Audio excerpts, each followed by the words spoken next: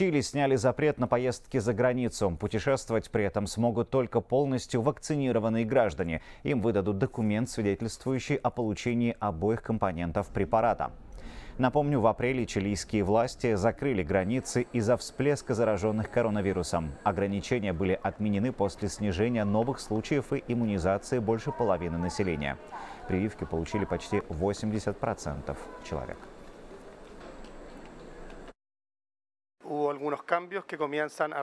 Были внесены некоторые изменения при въезде в страну. Важно отметить, что границы все еще закрыты для иностранцев. Поэтому въезжать могут только чилийцы или иностранные граждане с видом на жительство. При этом каждый должен сдать ПЦР-тест за 72 часа до прилета.